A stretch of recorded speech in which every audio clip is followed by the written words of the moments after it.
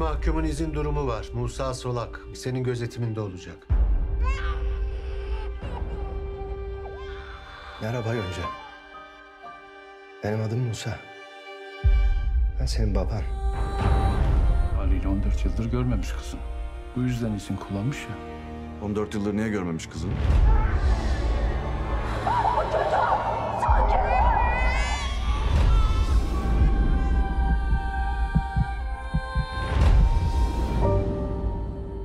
Merhaba Yonca.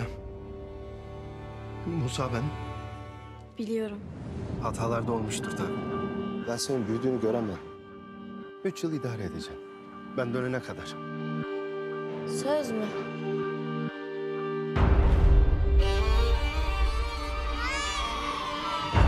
Ne yapsak fayda etmedi Musa.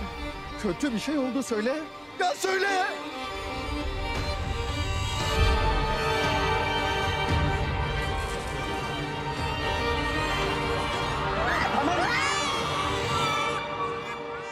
Değiştirmek istediğin bir şey var mı?